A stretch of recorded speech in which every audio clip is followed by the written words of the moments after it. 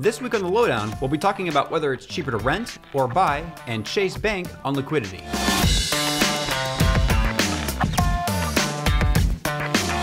New research from JP Morgan Chase Bank suggests that putting more money down when a borrower buys a home is not necessarily the best way to keep them in the home, but rather liquidity in their bank account is how to prove that they will keep their house. The research states that allowing borrowers to keep more money in the bank instead of putting that money down will help borrowers pay their mortgages and keep them in their homes.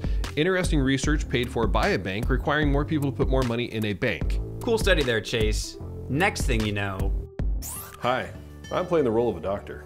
New studies have shown that crude oil is the new essential oil for all aquatic life. Makes sense. Have you ever rubbed a little bit of lavender oil on your temples to help you sleep at night? Same thing for them. Hey there, folks. Research suggests that 100% of vegetarians all eventually die. Sounds like they could use some carne asada, am I right, compadre?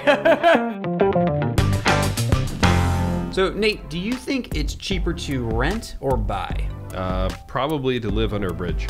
That's really not one of the options. 82% of renters believe it is cheaper to rent than to buy. Now, part of this is because they can't get the money together to actually put down a down payment or cover things like closing costs. And for millennials in particular, biggest issue with this is paying student loans and covering childcare costs. And really what this is leading to is a ever decreasing number of people that think that they will be able to own a home at any point in their lives. But Sawyer, didn't we report just a couple weeks ago that millennials are the up and coming home buying like demographic? We absolutely did. However, it will be easier for them to be the main home buying demographic when the generations that are older than them have passed away. Well, I guess research can just show anything that you're willing to pay for.